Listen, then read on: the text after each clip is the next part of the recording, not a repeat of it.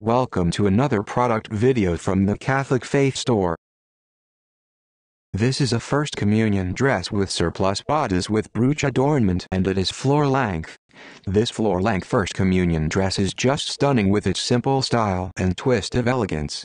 The sleeveless surplice bodice is accented with an asymmetrical cascading sash at the waist adorned with a sparkling rhinestone brooch.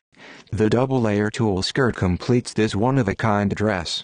The back of the dress has a zip-up closure. There is no better dress to make your little girl feel extra special on her big day.